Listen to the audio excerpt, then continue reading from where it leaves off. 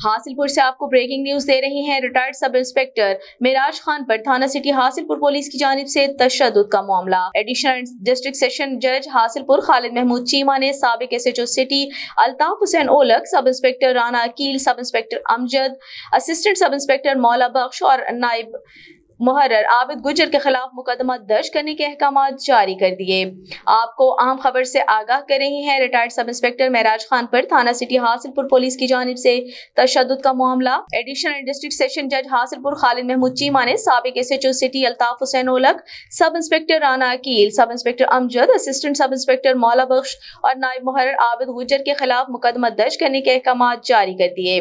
Retired sub inspector महराज खान ने justice of piece 22 ए की writ petition में मौकफ अपनाया कि किसी इकट के सिलसिले में थाने गए तो एस एच ओ और बेलगम थानेदारों ने उन पर बेहिमाना तशद किया, नकदी और मोबाइल निकाल कर सफ़ेद कागज़ पर अंगूठे लगवाए। रिटायर्ड सब इंस्पेक्टर की रिट पिटीशन पर एडिशनल एंड डिस्ट्रिक्ट सेशन जज हासिलपुर खालिद महमूद चीमा ने सबक S H O city Altaf Hussain Aulakh sub inspector Rana Aqeel sub inspector Amjad assistant sub inspector Maula Bakhsh और नायब मुहर आबिद गुजर के खिलाफ मुकदमा दर्ज करने के अहकाम जारी कर दिए। रिटायर्ड सब इंस्पेक्टर ने ऑर्डर की कापी नए तैनात S H O city Amir Lal Bukhari के हवाले कर दी। थाना सिटी पुलिस की जानब से ताहाल मुकदमा दर्ज नहीं किया जा सका।